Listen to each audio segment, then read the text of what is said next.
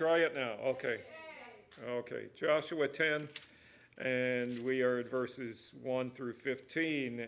As soon as Adonai Zedek, king of Jerusalem, heard how Joshua had captured Ai and had devoted it to destruction, doing to Ai and its king as he had done to Jericho and its king, and how the inhabitants of Gibeon had made peace with Israel and were among them, he feared greatly.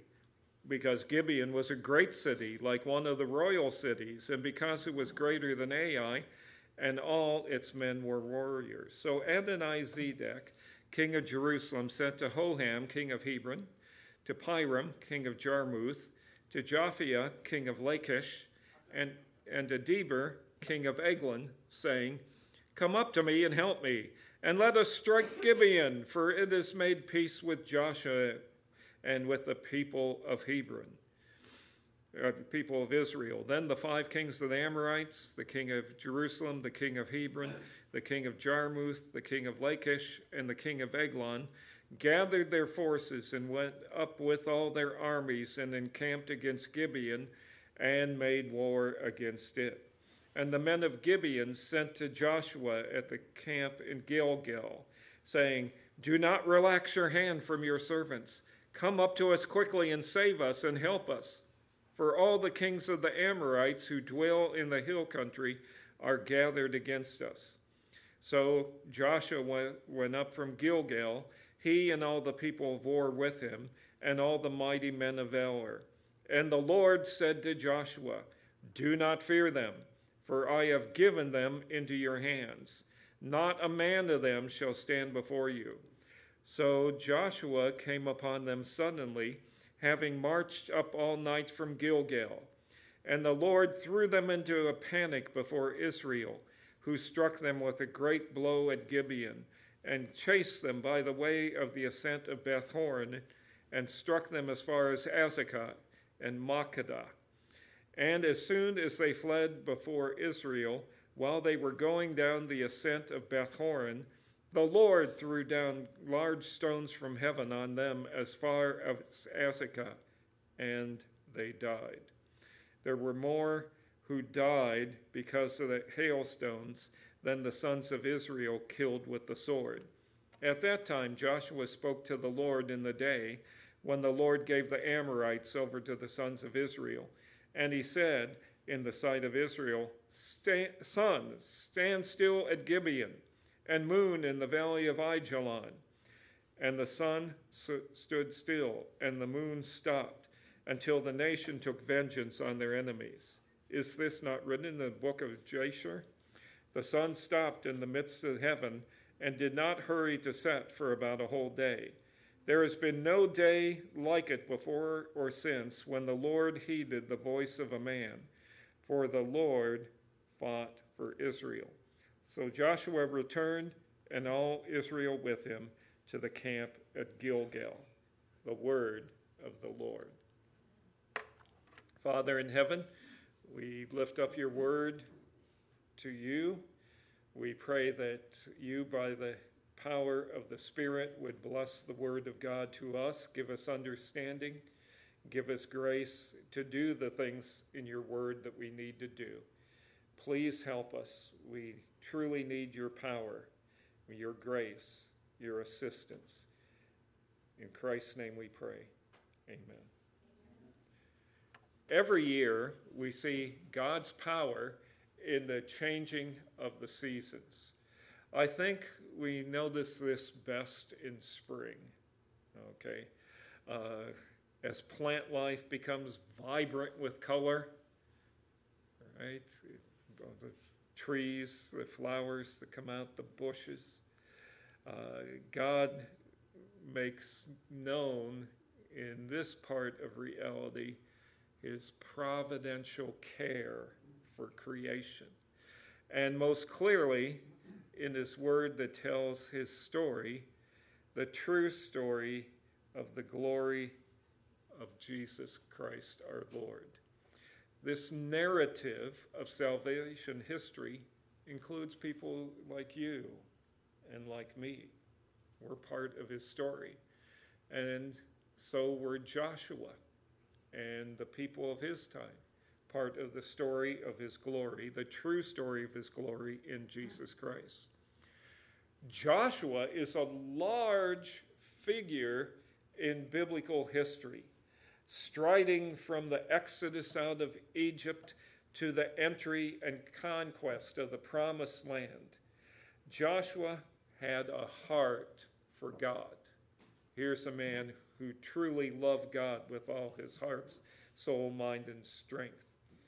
He was a man of faith uh, who lived according to God's word. It was important that he was because his mission was so very difficult. Uh, what do you want me to do, Lord? Well, you have a group of uh, around 2 million people. Yeah, I see that. That's pretty big to handle. Uh, they've been wandering in the desert for uh, 40 years. Yeah, I, I, know that. I've been wandering with them. Uh, Joshua, you're going to lead those wandering nomads in conquest of the land that I'm going to give you. Uh, are you sure, Lord? You know, these people don't know how to fight. Well, this is your job, Joshua. Welcome to the company.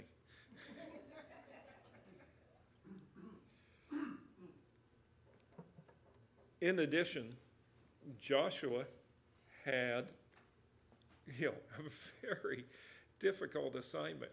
Who was Israel's leader before Joshua? Moses. Okay, Moses, that great servant in all God's house. And here is Joshua having to come in and follow the big man to fill the big man's shoes. Now, if anybody knows, this is a rather tough job to do. Uh, the first leader of our country was George Washington. Okay? Uh, the second leader was a very intelligent man, okay, trained lawyer, uh, brilliant, served our country in many ways. His name was John Adams. It wouldn't have mattered who you put in office after George Washington. Okay, there was going to be problems and John Adams uh, had his fill of them. It's tough to follow a larger than life figure. Joshua is a picture of Jesus Christ who leads his people not into the promised land on earth, but into the promised land of eternal life. And so we can see uh, echoes images of Christ as we look into Joshua and see Joshua. The book of Joshua is the first of the second section of the Old Testament scriptures in Hebrew called the prophets. Okay, the prophets had two parts uh, the former prophets and the latter prophets.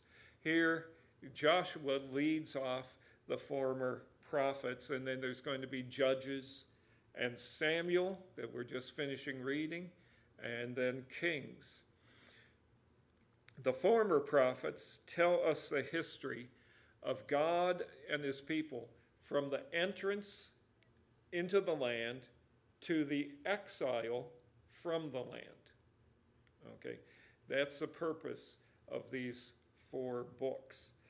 The book of Joshua presents much information about the promised land that the Lord gave his people in fulfillment of covenant promises made to Abraham, Isaac, and Jacob.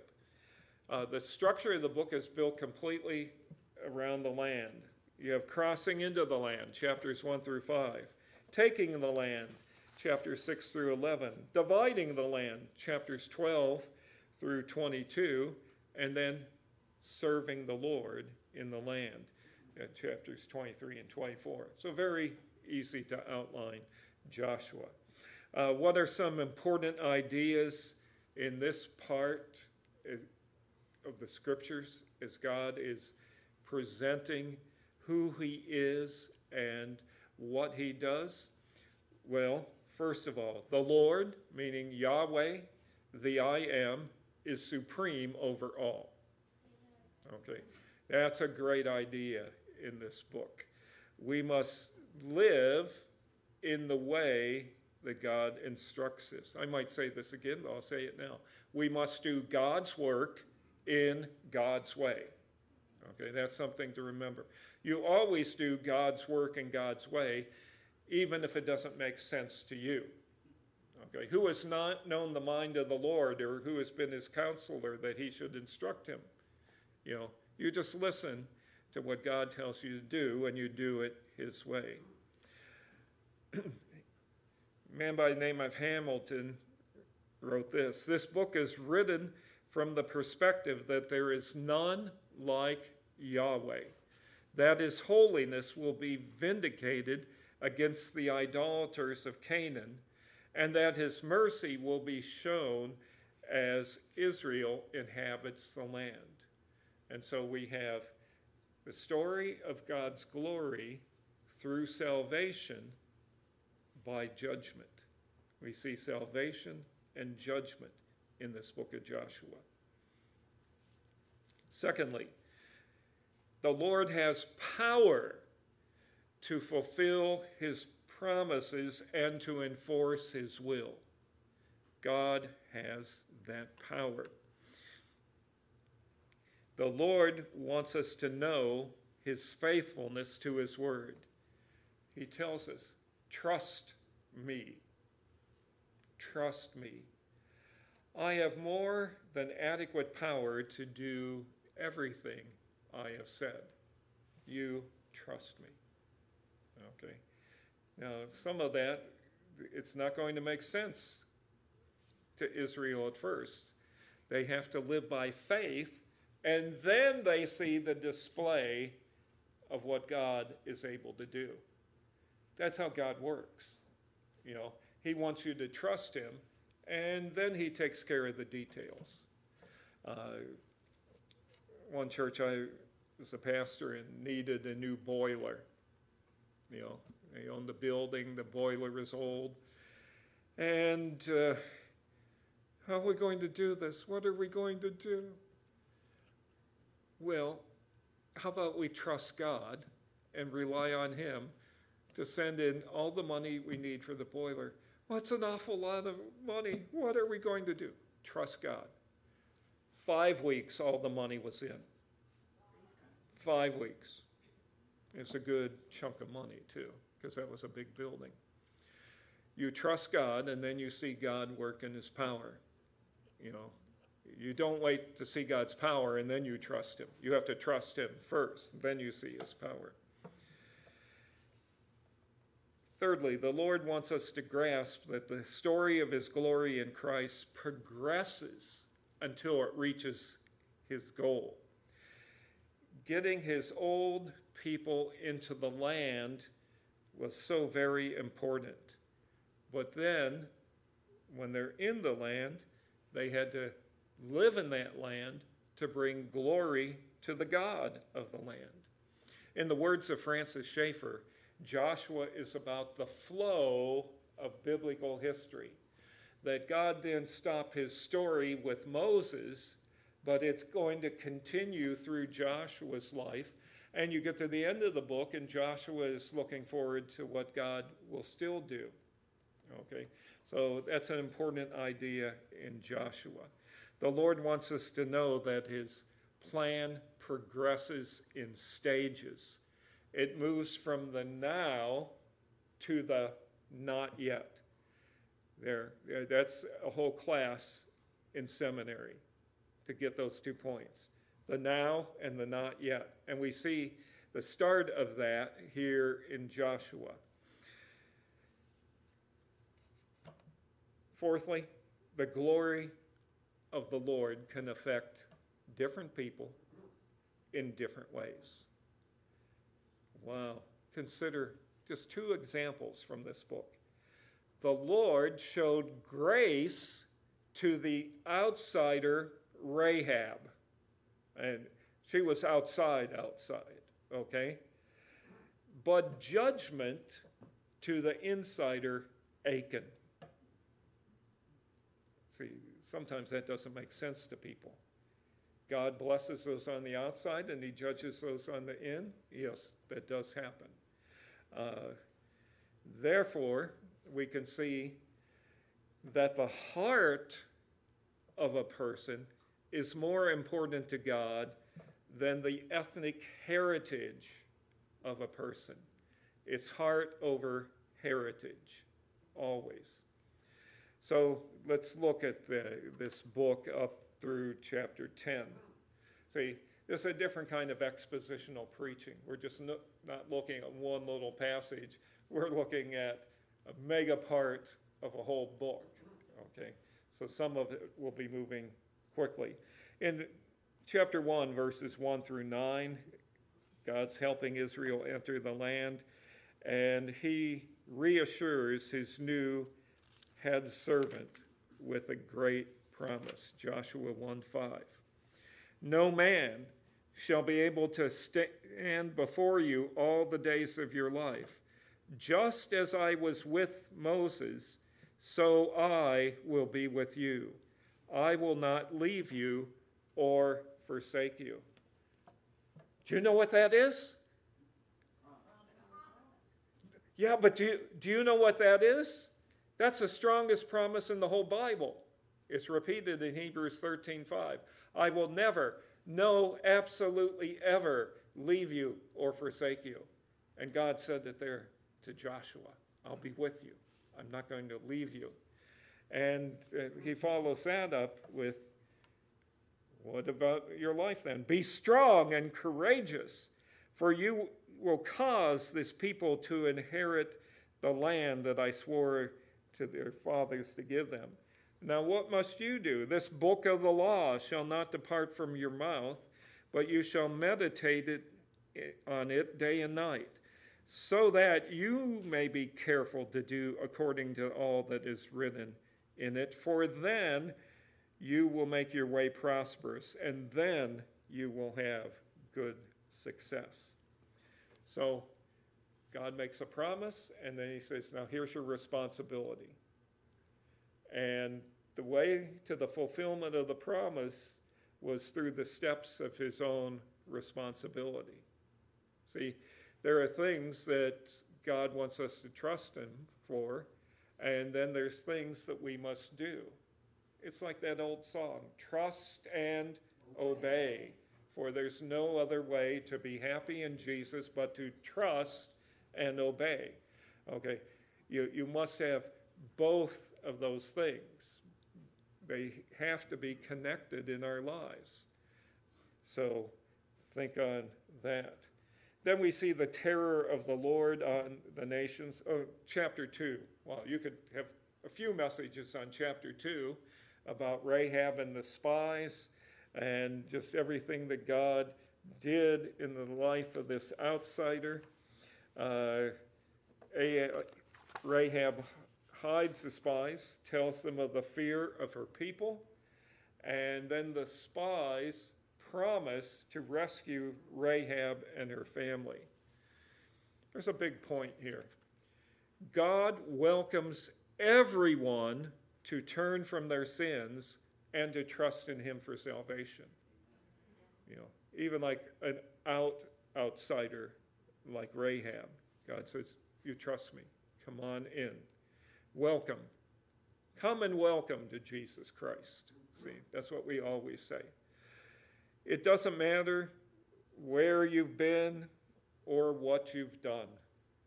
That does not matter. What matters is where you're going. Okay? And God offers grace, forgiveness, restoration, whatever you need to get you to where you ought to be going. Okay? So all that is very important. Then the Lord makes a way across the Jordan River in chapters 3 and 4. How the Lord made the way across? Well, a couple things involved in that chapter as you read it. He used the Ark of the Covenant. What's the Ark of the Covenant? Now we know the covenant, the two tablets of stone are in the ark, but what was on top of that covenant a gold mercy seat, right? And from that gold mercy seat, what could everyone see? The cloud of the glory of God. Okay. And so God tells Moses, I want you to have the priests, actually Levites, you know, carry the ark into the Jordan, and then I'm going to do something miraculous. I'm going to stop all the water flowing downstream.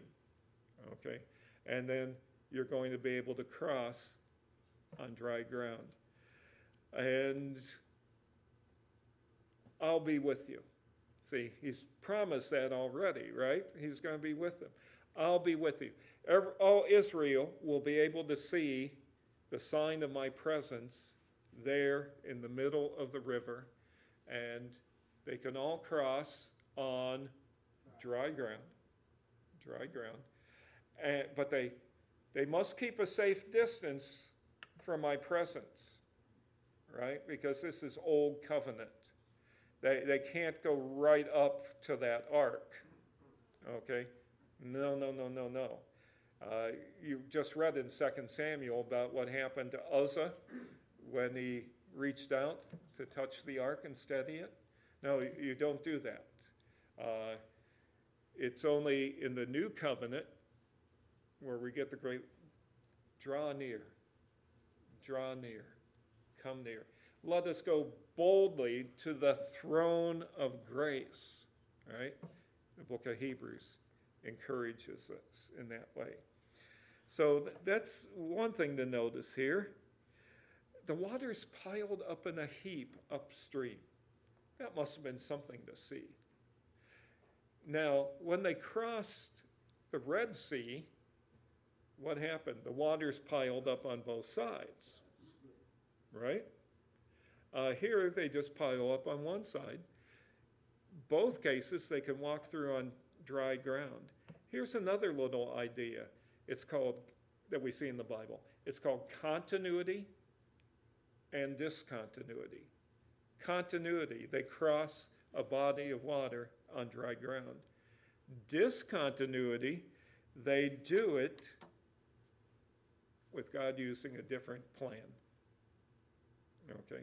We see this continually in the Bible. The reason that God made them cross this way? Well, the Lord did this, and you read this in Joshua 3 7. He did it to show his people that he was with Joshua. Okay. It's like God's validation of Joshua's leadership of the nation. Yeah, Moses got you across the Red Sea, Joshua gets you across the Jordan River. Validation. It's also a validation of his relationship with them. Uh, you can read that in verse 10. You know, I'm with Israel. But God is doing more than that, and this is a good idea uh, to know. You know, in any event, God can be doing multiple things, you know, and we might think, well, this is why God did that. Well, that might be the case, but He might have been doing many other things at the same time. Uh, don't try and over categorize what God is doing. Uh, he'll beat you at that game every day. Because a third reason here, uh, he did it to demonstrate to all people groups everywhere that his hand is powerful. You want to know how powerful? I can get my people across any body of water I wish on dry ground. And if you need to walk across some body of water on dry ground, God's going to give you, get you across as you trust in Him. But you must trust in Him. The designed outcome was for Israel also to fear the Lord always. Secondly, in chapters uh, uh, from 513 through 927, we see that the Lord gave victories while the people failed. Oh my, oh my. This is our life, isn't it? Have you had a perfect week of victories yet? I, I haven't. Okay? Uh, yeah, our lives go up and down, up and down, don't they? But, you know, every time I go up, He's faithful. Every time I go down, He's faithful. And He's faithful to bring me back up. And when I go down, He's still with me. He says, Now, please get your act together here, okay? but I am with you, okay? Uh, and that, that's what we see in this large section. You know, God's telling his story with his people, you know, and we need to see that God knows who we are as his people, and he has this in his word to understand that we might grasp how he interacts with us. And yeah, there's times when it's tough love, and it's time when it's very tender love. Tough love, tender love. Uh, again, that's, we need to learn to be discerning in our uh, counseling with people because every Christian has to be a counselor, you see. That sometimes it's tender love and sometimes it's tough love. Both things have to be happening. God did something that no one expected here. God sent a special leader before they attacked the first city, Jericho. Joshua is out there. He sees this man. Are you with us or with our enemies? Neither. I'm here as the commander of the Lord's armies. And you better take off your shoes because you're standing on holy ground. Who showed up? The pre incarnate Christ, the Son of God, okay, taking angelic form in that case. And he is there.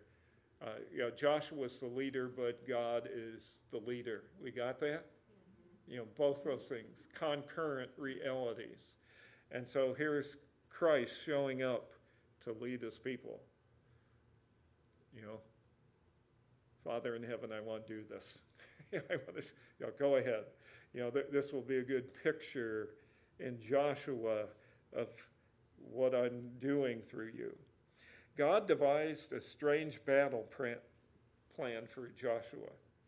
There was nothing in this plan, there was nothing in this plan that could defeat a great walled city like Jericho. What's the plan? How are we going to take the city? Well, for six days you walk, walk around it once each day. And then on the seventh day you walk around it seven times. And blow the trumpets, have the people shout, every, the walls are going to fall down. Oh, yeah? if you know the history of siege warfare throughout human history when there were walled cities, it could take years, years for an army to conquer a walled city. God says, I'll do it in seven days. This is going to be fun. you guys just go out, you do what I tell you to do, and then you just shout, and the walls are going to fall down. I'll give you the city. Okay. I never thought of doing it that way, Lord. No, because you never thought of my power. Okay. We're talking about my power. It's not the you know, the tramping of their footsteps that bring down the walls. Things just don't happen that way. This is an act of God. God honored Israel's promise to Rahab and her family. All the walls came down except that one place where Rahab and her family were.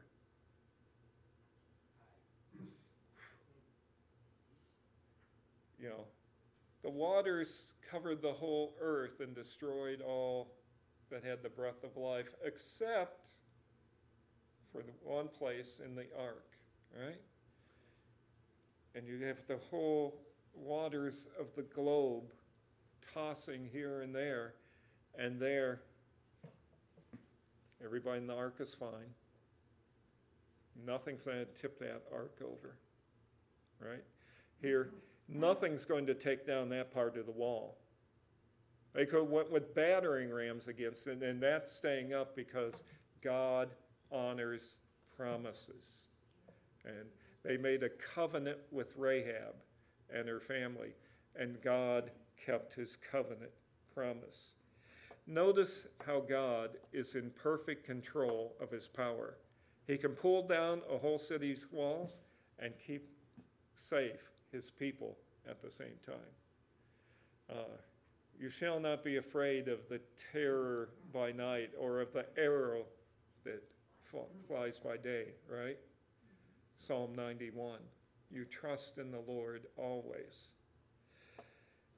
Trust God, especially when your world seems to be collapsing around you, like Rahab could see all those walls. She had to trust God at that point. Uh, she is in the book of Hebrews, uh, you know, in the faith chapter. Yeah, think about that. And chapter 7 is one of the sad chapters in the Bible. Very sad. It's about the sin of Achan. He disobeyed God's command to take nothing, nothing from the defeated city. But as when Achan is found out by God clearly directing the casting of the lot, so it falls finally on Achan, right? Uh, power of God again. And Achan makes known the tragic sequence of his disobedience. And that's a lesson to all of us. Achan said, I saw, I coveted, I took, I hid. That was the sequence of his sin. And that's the sequence whenever we sin in some way. I saw, I coveted, I took, I hid. Uh, Adam and Eve in the garden, what do they do? They hide, right? All that we can see guilt, okay, coming out. They have to hide. You know, we can learn from that tragic sequence. Achan and his family were executed, verses 24 and 26. Why did all of them perish? You've got to be able to answer a question like this. You know, why did all of them perish? It was because they were under the law covenant. And as Paul tells us in 2 Corinthians 3 6 and 7, the law was a ministry of death. Okay, the law could never bring life, it could only execute death on the disobedient. There's another sense. We can only understand this when we comprehend the exceeding worthiness of God. You know, and we're in humility before Him. If you try and look at this starting from people, starting from humans, you're always going to be wondering, why did God do that? If you look at it from God's standpoint, you say, yes, this is about my glory. Okay? And so we have to understand the glory of God in the face of Jesus Christ, or we'll never be able to grasp this. This is something that the church in our day must return to. Not just singing glory, glory, glory, and all kinds of praise songs. They better understand what glory means. It's about God's surpassing value, His ultimate significance. And there's a lot of professed Christians and churches having struggles over a chapter like Joshua 7 when they should say, Whatever you do, oh God, is right. Whatever you do, you're holy. End of discussion. God is holy.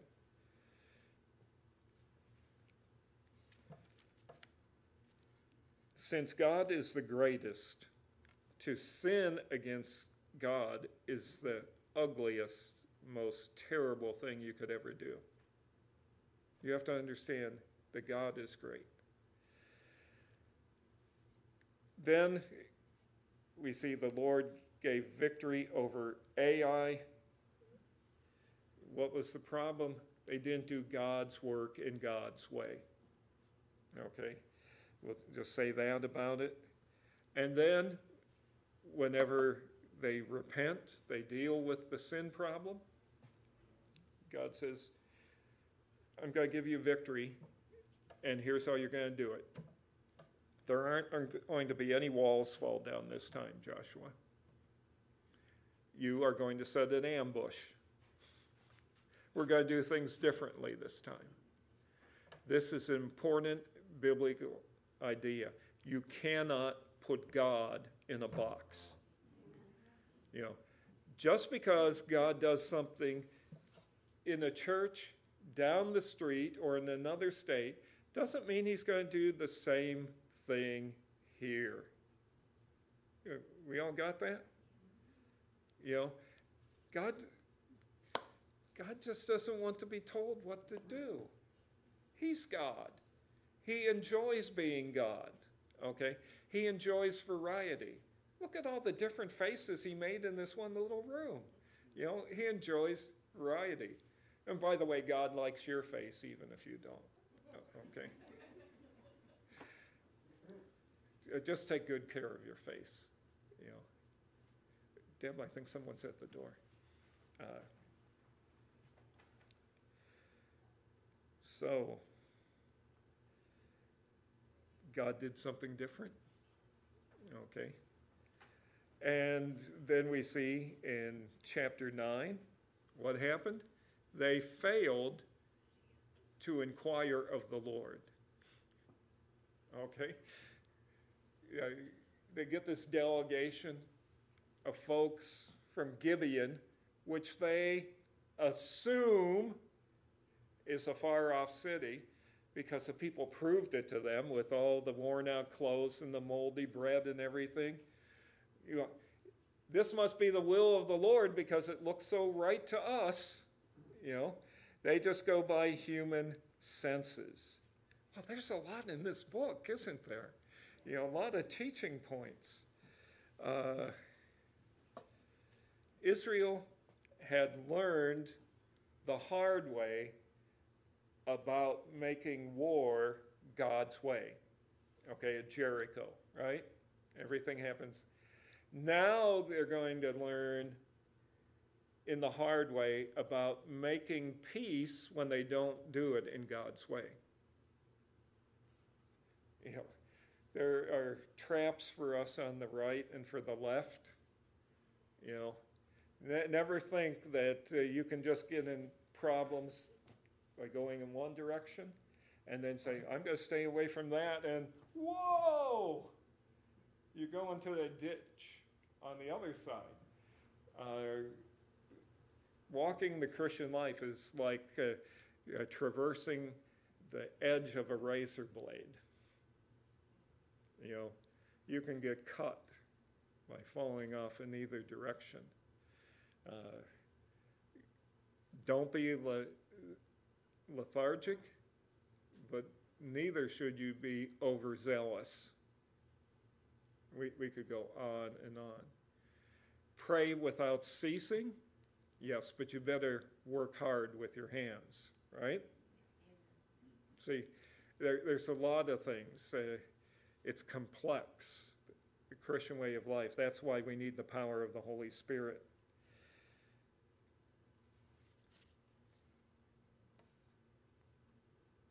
Though the people of Gibeon deceived God's people, they did it because they say in verses 24 and 25 of chapter 9, they feared the Lord. Uh, they did not have the scriptures like Israel did. Uh, they did things in the best way, and God was merciful to them. Okay? Even though they are going to pay for their deceit in the long run. Uh, we can only grasp God's message when we understand all of His glory. You know, sometimes very precise, sometimes very merciful. Don't try and predict how God's going to interact with you. Okay? Uh, you just don't know. Then in chapter 10, that we've already read, the Lord shows his great power. This is maybe besides Genesis 1 and Luke 24 and the other resurrection accounts of Christ, this probably is the greatest account of God's power in the whole Bible. Uh, the Lord and his people were opposed by the nations. Uh, their fear drove the nations in the wrong direction. Instead of acting like the Gibeonites, and seeking peace in some way, uh, suing for peace, saying, Lord, we'll leave, don't kill us. You know, they don't do any of that. They gather their armies. We're going to beat God. We're going to beat Israel. And don't throw down that challenge before God because God, you throw down the gauntlet, God will pick it up. And he said, Yeah, okay. Uh, you, you want to tangle? I, I'm in if you're in. Don't do it. Don't do it. It's a poor plan. So, Joshua and his people had made that treaty with Gibeon, right? Well, what do they have to do now? God's people have to keep their word. Does you understand that? God's people have to keep their word. You know, we have agreed together as a body of believers, we're going to support the work of Christ here in West Norriton. You know, well, God giving us grace, we have to keep the word, right? Uh, there's a paper over in the church office that hangs there showing uh, some of us were charter members, right? So we have to do what we can. Uh, Israel had to go there. Faithfulness is part of our sacrificial love to our neighbors. The Lord expects us to keep the covenants we make, whether with Him or with people or with our spouses. Right? You know, sometimes you keep a covenant for a long time. You don't even realize that when you're 21, 22. Till death do us part as long as we both shall live, right? In sickness and in health, in poverty and in wealth. A lot of life is comprehended in those statements, and we keep our covenants there. Just saying. The Lord controls his creation. We see this in two ways in this event. First, the Lord sent huge hailstones to destroy the enemy. Now, this shouldn't surprise us. He had promised Israel the victory, so he sends these huge uh, hailstones. God's in control of creation, He can do anything He wants. And there's a two part miracle here not only sending the hailstones to destroy the enemy, but also, those hailstones do not hit his people. So many examples of this in the Bible. God can send rain on one field and not on another. He tells us that in His Word. Uh, if things are happening in your life, God has a reason. They're just not random events.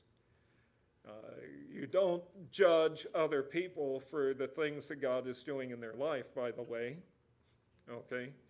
Uh, Lord, whatever you're doing there, I'm going to pray for my brother or sister or these people who don't know you. Yeah. Uh, I'm not going to judge them because of what they're going through. you, you just don't know that. I'm saying God is working in an event, and we need to seek him during those times because he's in control. And some things will hit some Christians and not hit others. anyone here ever hear of COVID? you know, some pe- good Christians got sick with COVID and died. Others did not. Most others did not. We, we can't discern all that. That's between that person and God, what happened. Uh, but this is what God did. the one who could make the water of the Jordan pile up in a heap and not run wild in other places could surely direct every hailstone that fell. No problem. Mercy and judgment happened here at the same time. Judgment on the armies who oppose the Lord and his people, mercy to the armies of Israel. Right in the same event. That we often see. Then the Lord made the sun stand still. Joshua was running out of time. You know, well, the sun's due to go down here very shortly. He's looking, looking at his eye watch there, and you know, I, I, I see that. Uh, Lord, I need some help here. Uh, I don't think you've ever done this, but could you stop the sun from going down? Yeah, in this case, Joshua, I'll listen to you. Now, we don't ask the Lord to stop the sun in its course as we talk every day. The Lord might want us to get up earlier, to work more efficiently. Okay, you go down the list, you know, one man once said, no doubt the trouble is with you. You know, don't be saying, God, I, you got to bail me out. Yeah, I, I, I've been pretty good at that, but, you know, get to work. But here, okay, Joshua, this is a great opportunity to uh, just display my power. And the sun stopped for about a whole day going down. And it was, it's just there. It's, do you realize all the miracles of physics that had to occur at that one moment? Uh, why do we have this marvelous thing called gravity? Because the earth is spinning, right, at this ridiculous speed that I've been used to my whole life, right? And it's just going, and, and, God stops the earth from spinning. You know, when the sun stops, that's what he's really doing, right?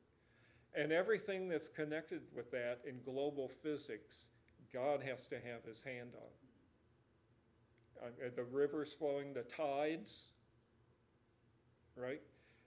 He has to hold all the tides in place. There, there's just so much going on uh, in that day. And okay, you got the job done, and God restarts everything. It's marvelous, a, a great display of his power. And that's why we call this message the power of God. The power of God. Joshua was just like you and me. He could do nothing like that. Have you ever stopped the sun from going down? Uh, me neither, okay? Just haven't done that. I was talking to somebody one time about Jesus calming the sea. And a person said to me, I don't get it. Why is this important for me to know? I said, Can you do it? And this person said to me, I think I'm going to start reading the Gospel of Mark all over again. and the person became a Christian after that. There's one greater than Joshua that can stop any sun, send hailstones where he wants, knock down any walls as much as he wants to. Okay, take a young guy like Joshua, who's now 85, and get him going uh, to lead his people. And the name of that person is the Lord Jesus Christ. God welcomes everyone to turn from their sins and to trust in Him. Trust God, especially when your world seems to be collapsing around him, you. We can only grasp the Bible's message when we know the glory of God. The prayer of a righteous man is powerful and effective. Joshua prayed that, and God heard his prayer.